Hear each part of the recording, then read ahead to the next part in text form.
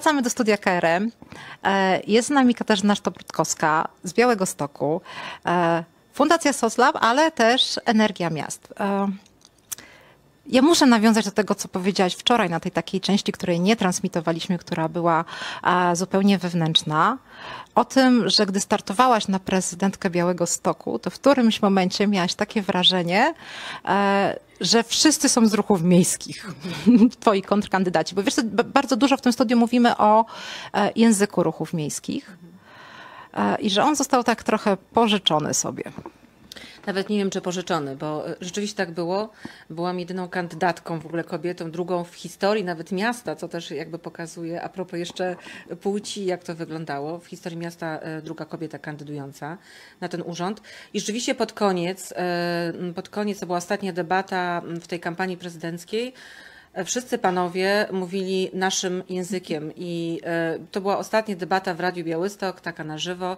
I naprawdę podsumowałam, bo powiedziałam, panowie, my się praktycznie w ogóle ze sobą e, jakby nie różnimy, tak? Mówimy praktycznie ciągle już o tym samym. I było to takie trochę perusowe zwycięstwo, dlatego że bardzo się cieszyłam, że w kampanii wyborczej po raz pierwszy pojawiły się takie tematy jak smog, jak kwestia zieleni, jak kwestia transportu. My na przykład mówiliśmy o transporcie bezpłatnym dla mieszkańców, takim rewolucyjnym pomyśle, na którym, o którym na początkowo się śmiano, a, a później e, zaczęto myśleć głośno, mówić głośno, że może to wcale nie jest taki zły pomysł. Więc rzeczywiście było tak, że ten język e, został przejęty. Ja bym nie powiedziała, że został pożyczony, bo to bardzo łagodne i dyplomatyczne. Został przejęty, instrumentalnie wykorzystany, a następnie e, zutylizowany, bo w rzeczywistości z tych wszystkich postulatów i z tego języka bardzo mało zostało w tym, co zostało zrealizowane później, czy jest realizowane w obecnej kadencji prezydenckiej. E, zostało to zrealizowane w sposób taki, no niestety ja krytycznie patrzę na to. Na przykład mamy zielone przystanki w Białymstoku, bardzo piękne i bardzo mi się podobają. Jest ich sztuk kilka, no ale które jakby no nie załatwiają sprawy chociażby y, jakości e, zieleni w mieście, dostępu do tej zieleni w mieście.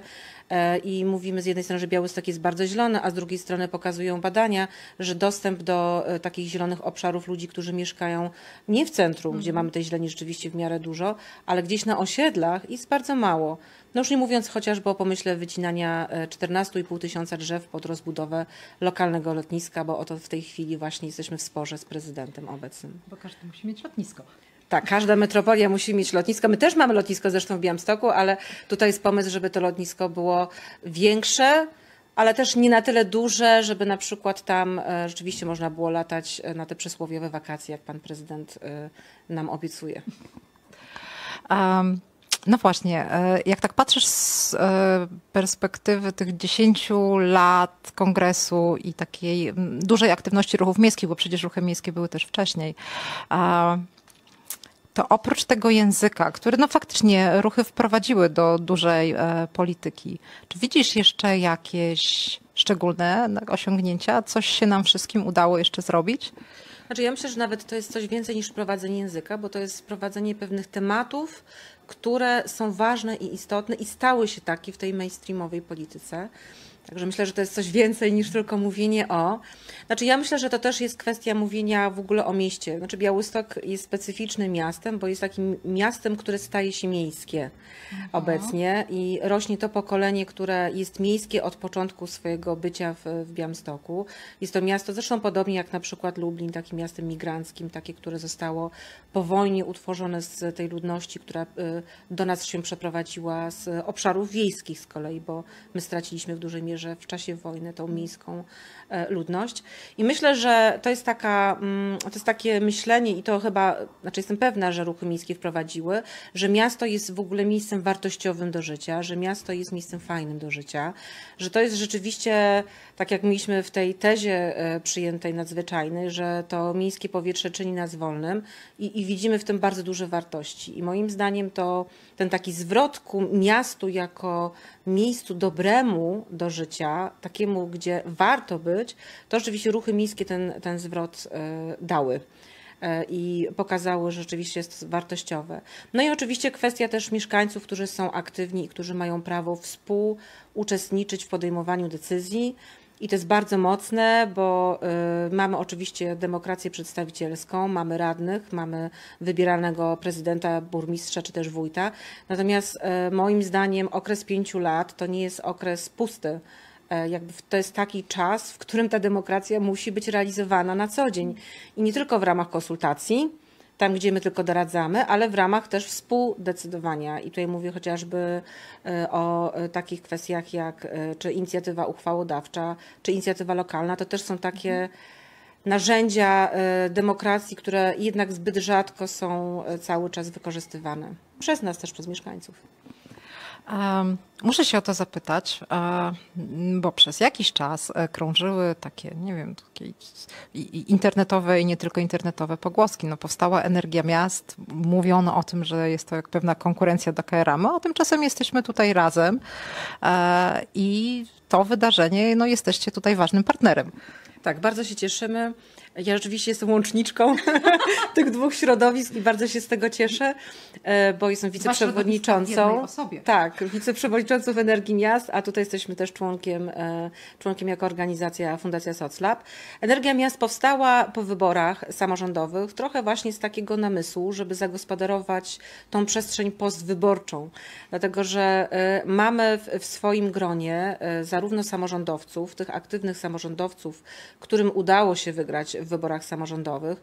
Mamy y, na przykład Łukasza Gibałę właśnie z Krakowa, który jest radnym, który był kandydatem na prezydenta. E, dobra trzecia lokata, e, ale jest też bardzo aktywny, ma spory klub również w, Krakowie, ale mamy na przykład też e, Arka Nowalskiego, który jest burmistrzem Sejny, czyli takiego miasta na północnym wschodzie, tam na Suwalszczyźnie. Mamy naukowców, czyli ludzi, którzy jakby stoją trochę z boku, obserwują, no i mamy oczywiście aktywistów i aktywistki miejskie. Czyli łączymy te środowiska jakby wprost, tak? Y, I, I, bardzo nam zależy na tym, żeby ta energia i ten, te wszystkie pomysły, które mamy w głowach, one w energii miast krążyły y, dookoła siebie. Też y, szukamy takiego połączenia między dużymi i małymi miastami, bo też mi się wydaje mhm. być to bardzo ważne. Zresztą w Karemie to też się wydarzyło, prawda, w Ostrudzie i Ławie. E, no i od początku też współpracujemy bardzo mocno z Fundacją Instrat, którą bardzo sobie cenię i e, ten pierwszy podręcznik dla samorządowców, ale tak naprawdę też dla aktywistów e, i aktywistek miejskich, czyli Zielony Renesans, który pokazuje, że samorządy też w takim myśleniu jak trzeba ustawowym, czyli ta wspólnota mieszkańców, która zamieszkuje dany teren, to też jest podmiot, który na przykład w tych przemianach energetycznych może być kimś ważnym, kimś, kto graczem tak, graczem, kimś, kto wymyśla i wdraża różne innowacyjne pomysły, żeby nam ten miks energetyczny zmienił się na lepsze i żeby było mniej czarno.